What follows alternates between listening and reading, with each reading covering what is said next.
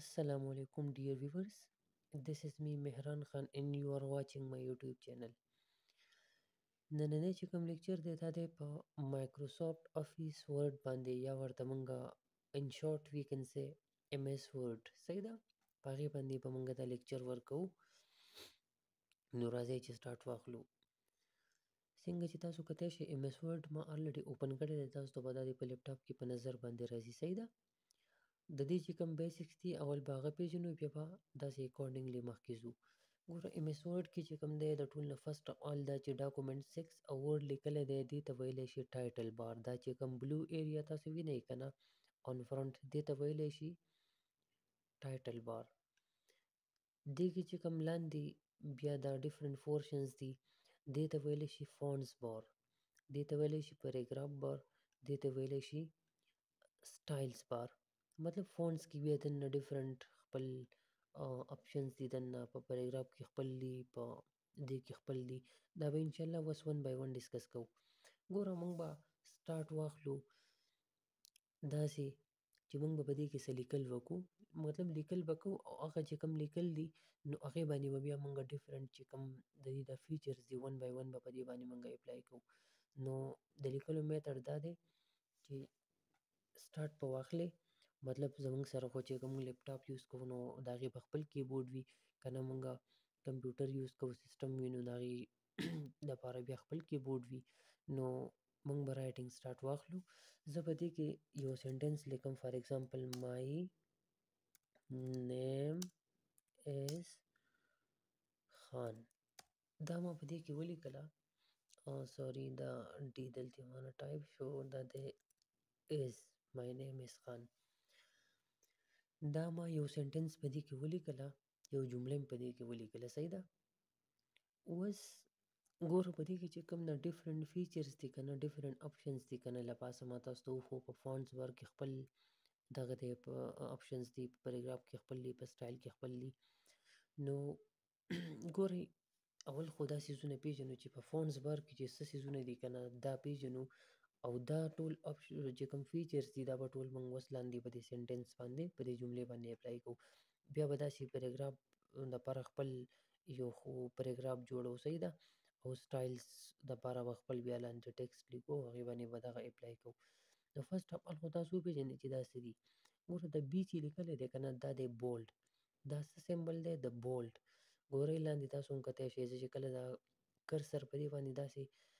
کلیک کوم که نه ګوره لاندې بولډ لیکلی دی صحیح ده دا بولډ دی دا آی چې دی دا دی ایټیلیک ایټالیک مطلب زموږ سره څه ورډز دي که نه هغه موږ ایټالیک کول غواړو نو دا دی ایټالیک دا دی انډرلاین دغه چې دی نو دغه بیا څه دي دغه بیا فونټس دي دغه سایز دی ګوره فار ایگزامپل اوس سمپل زه دا فرسټ بولډ اوس اپلای کول غواړم په دې باندې په دې لاندې سنټنس باندې نو که زه دا یو ټایټل غواړم نو که په دې زه کلیک وکړم نو دې سره دا نه بولډ کیږي دا به بولډ کیږي دا دی چې د بولډ کول لپاره به اولنې اکشن به زما سی وي دا ټیکسټ به سلیکټ کوم سلیکټ کولو لپاره به د ماوس لیفټ کی تاسو پریس کړئ دا سی کرسر براولئ دا سی دا سلیکټ شو صحیح ده اما شیر ټوله سلیکټ شو اوس چې په دې باندې څه بر سم اپلای کول غواړم نو هغه به اپلای کېږي لکه فار ایگزامپل زه هم چې دا څه بولډ کوم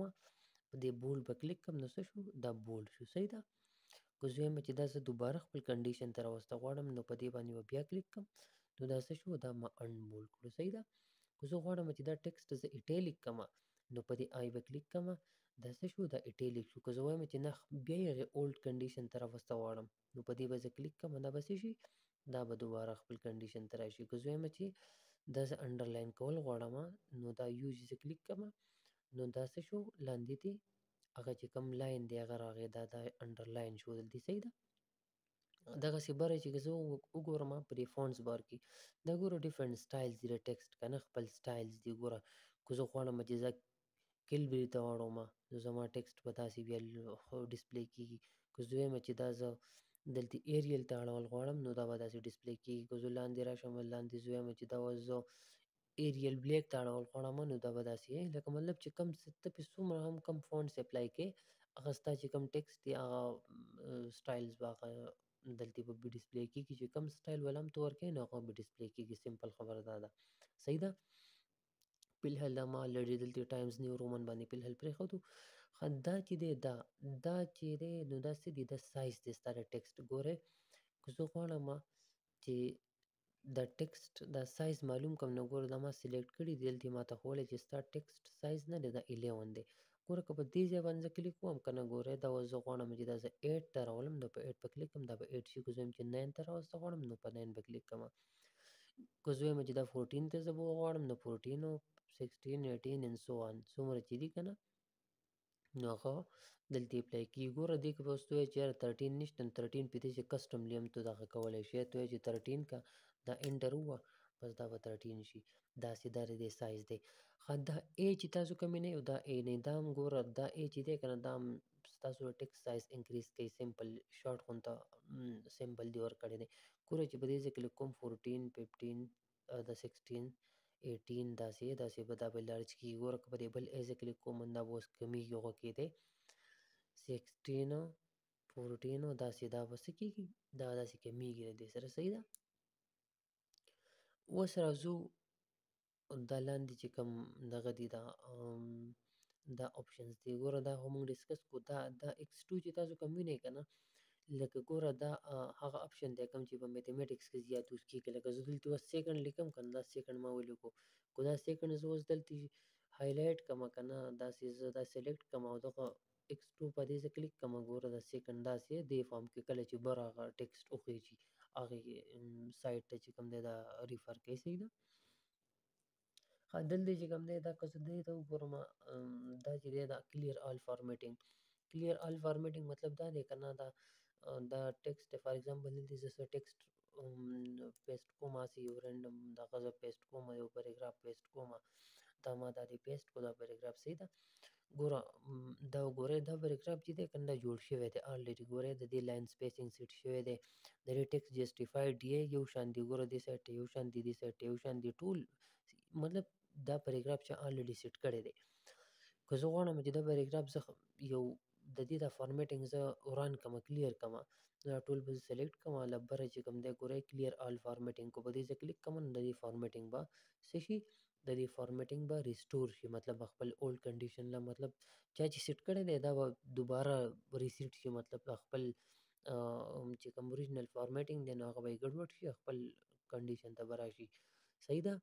نو دغه خو دا مطلب شو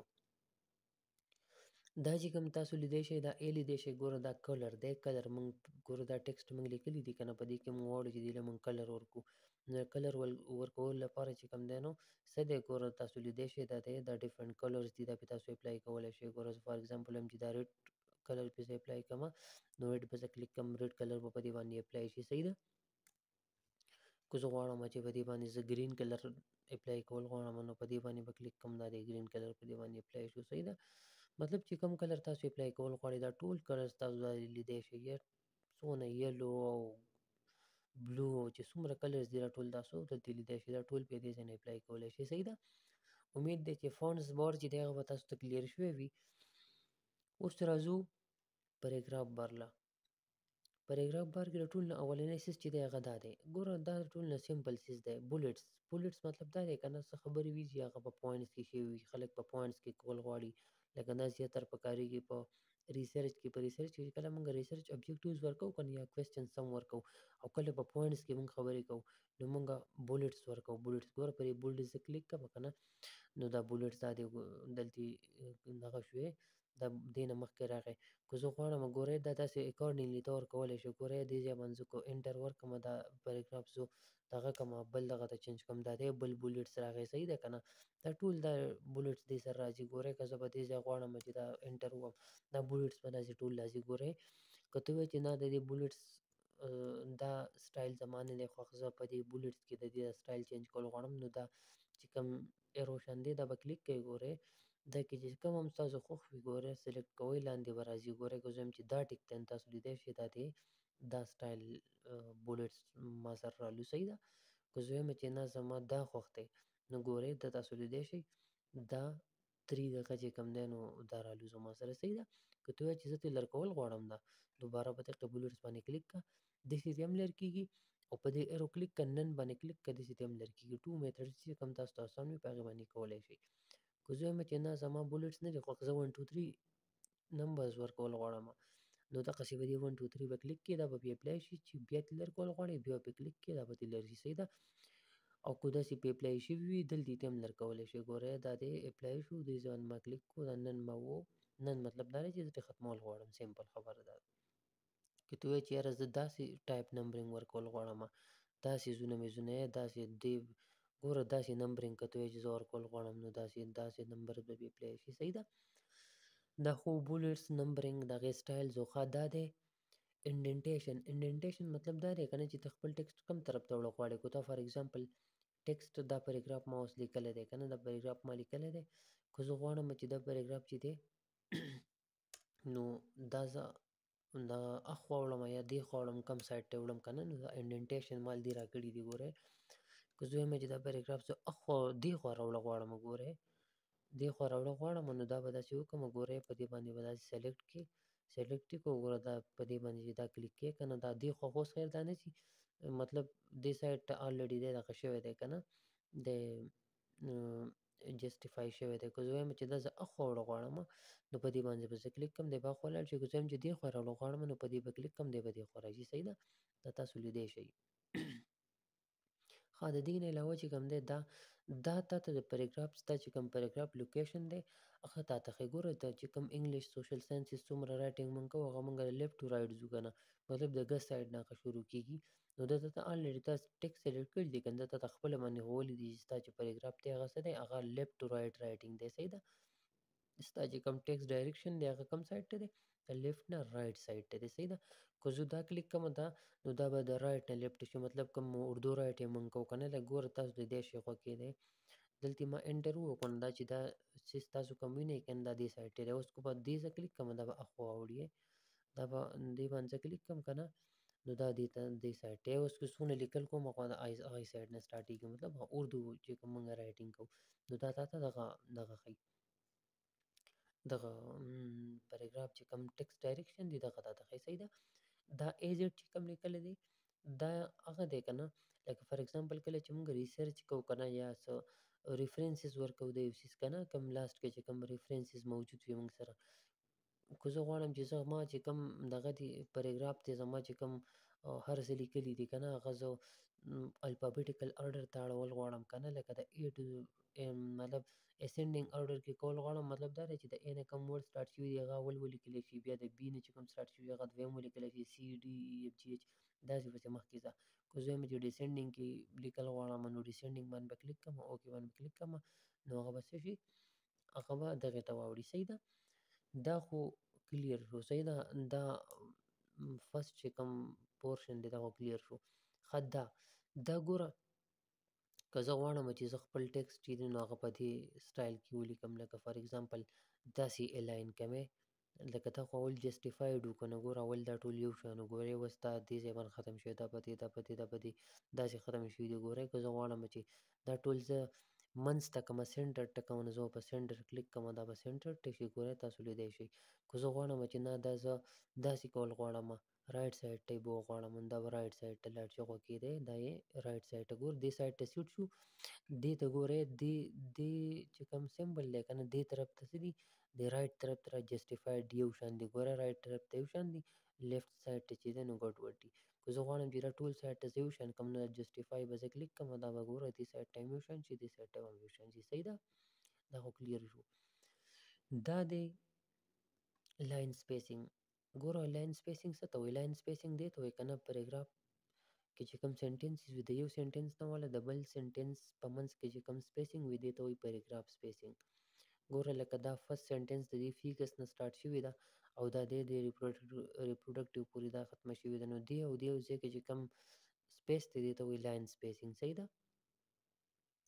نو دا ګوره دا لاین سپیسینګ دی په دې کې اوس څو دی په دې کې الریډي د دې فارمیټینګ شوی په دې کې ډبل لاین سپیسینګ دی که زم چې سنګل دی شي په دې به کلیک کوم سنګل به شي که زم چې 1.15 دی شي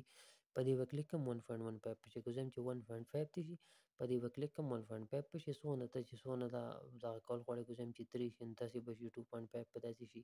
2 به داسې شي کنه دا چې څونه تاسو دا لاین سپیسینګ په دې کې چینج کول غواړئ دې سره دا چینج کیږي صحیح ده ها دا چې کوم دی ګوره دا داسې هم کیږي هغه کې دی دا خو د دې شارټ کټ ټکنه چې څونه داسې تاسو کول غواړئ داسې کیږي لاین سپیسینګ کمیږي زیاتیږي دې سره دلته هم کیږي دا پیراګراف تاسو لیدای شئ دې سره چې کوم دا آیکن ټایپ کوم تر هغه دا ایرو داسې ګوره دې سره ستا دا دا خو ستا ټیکسټ وي دا جسټیفاید دی باډي ټیکسټ دی که ته غواړې دې ځای نه هم دا چینج کولی شې ون سنګل لاین سپیسنګ ایټ لیست ټو ډبل ګوره زه غواړم چې سنګل دې شین په دې وکړې زه کلیک کوم دا به سنګل شي ودلید داسې هم کېدای شي مطلب چې تاسو ته کوم اسان وي او کوم ایزي وي نو هغه تاسو هغه کولی شئ مطلب دواړه باندې کېږي داسې هم کېږي او دې خوا هم کېږي صحیح ده ها اوس رازو د سټایلز چې کوم دی سټایل بار دی دې لازو سټایل بار چې دی کنه نو ګوره دا ستا ټیکس نه دی دغه سټایل دی کو ته چې زه داسې په دې سټایل کې دی په دې کې خو نارمل دی کنه کته چې سپیسینګ دی پکې نه وي نو نو سپیسینګ داسې سټایل کې به راځي کته چې زه په هډینګ کې لیکم هډینګز ورکوم نو داسې هډینګ کې به داسې بیا راځي ګوره کته چې هډینګ 2 ورکوم دا دا ډیفرنٹ سټایلز دي دا تاسو به دي کې بیا کته شي دا ته چې سونه کم پی اپلای کول غواړي نو هغه پی اپلای کیږي دا تاسو کته تاسو کو مطلب سونه پی اپلای کوئ نو دلته پی اپلای کیږي ها دا چې کوم دی ګوره دلته تاسو لیدای شئ فایند فایند مطلب دا دی کنه کوتا یو مطلب تا په دې دا چې کوم موږ پاراګراف لیکلی دی که نه یا تا څه لیکلي وي اسایمنټ دې لیکلي وي هر څه لیکلي وي تاسو او تاسو غواړئ چې په هغې کې تاسو یو ورډز معلومول غواړئ نو دا فایند چې دی په دې په کلیک کوئ دلته ګوره زه وایم چې په دې کې اوس زه یو دغه معلومول غواړم په دې کې زه فریجایل معلومول غواړم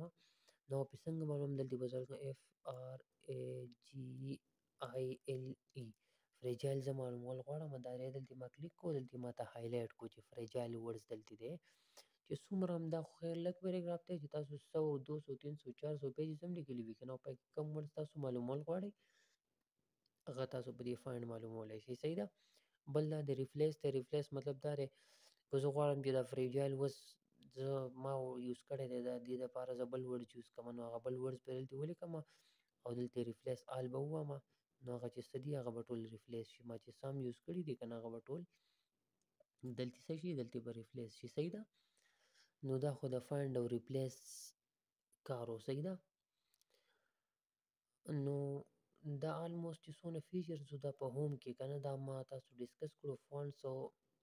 پریګراف سټایل دا ټول ما ډیسکس کړو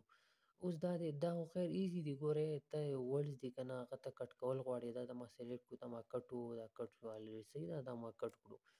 که زه غواړم چې دا زه کاپی کوم دې ځای نه دا ګوره کنه ما کلیک کو دا به زه کاپی کوم که زه کوم زه دا پیسټ کول غواړم ملتی پیسټ کولای شم صحیح دا خو دغه سیمپل خبرې دي چې دا حساب کتاب دی خدا فایل فایل ما سوري تاسو نو ډیسکس کړي فایل ایزی دی ګوره فایل چې دی دا خو دلته یې ځنه ته نیو فایل اوپن کولی شي لکه په دې زه کلیک کوم بلینک ډاکومنټ بل کولول غواړم زه بل ډاکومنټ ځان ته کولول غواړم اوس دویمه چې زه یو فایل اوپن کول غواړم نو دلته ګوره دا فایل مطلب د اس پی سی ته بلاړ شم کنه یا تاسو ما سره چې څونه ریسنت فایل دی که بدی کې زه کول ول غواړم کول غواړم شم پرنټ مطلب پرنټ ورکول غواړم په دې پرنټ باندې به کلیک کوم صحیح ده دا تاسو لیدای شئ دا مونږ سره خیر اوس پرنټر دې ټایم کې نشته دی خو تاسو چې کوم دغه کولی شئ که نه مطلب تاسو سره پرنټر کنیکټ وي نو الري تاسو دلته ګوره کاپي ته څونه کول غواړي یو ته دوه درې څلور پنځه څونه کاپیز ته کول غواړي دا به سلیکټ کړي خو فرنټ دا دا ګورې دا پیجز دي ته غواړې چې یاره پرنټ کرنټ پیج او پرنټ سلیکشن ته چې ټول پیجونه سره پرنټ کوم کو ته چې نه چې ما چې کوم سلیکټ کړي دی هغه مطلب تا پکې ځان یو سپیسیفیک دغه کړی وي کنه سلیکټ کړی وي ته چې نه فرينډ کرنټ پيج دا چې کوم ما سره پيج ډسپلې شوی دی دا یې دې سایټ ته دا یو ته یې چې زه دا پرنټ کوم دا پرنټ کولای شي صحیح ده دغه شانتي چې کوم دی دا ګور دا بیا کاپیز دی که ته وایې چې زه داسې کاپیز کول غواړم ون ټو تھري ون ټو تھري ون ټو تھري په دې طریقه باندې کول غواړم دا پورټریټ او لینډسکیپ دی که ته وایې چې زه پورټریټ پرنټ کول غواړم نو هغه به داسې راځي لینډسکیپ مطلب هغه هریزنټل ټایپ پرنټ په بیا راځي صحیح ده دا پکې ستا بیا د پیجز دغه دی مطلب ون پر شیټ کنته چې یو پیج پس بل پیج راوځي دا سي سلیکټ کولای شي کته چې دوه پیج پس شیټ وی 4 او 5 چې سونم ته سلیکټ کیه غو بیا تخپل دنه پکې سلیکټ کولای شي صحیح ده دغسې بیا شعر شعر دی پکې که نه که ته یو څیز دغه کول غواړې ستا سره یو فایل یې هغه تلیکس بل طرف ته سینډ کول غواړې دا ټول اپشنز په دې فایل کې موجود دي صحیح ده تاسو کتای شئ بل چې دی نو سیکنډ ته راځو انسرټ ته ګوره انسرټ یا انسرټ او دی تاسو چې سم نیم دغه کول غواړئ که نه نو هغه دواړه تاسو دغه کولی شئ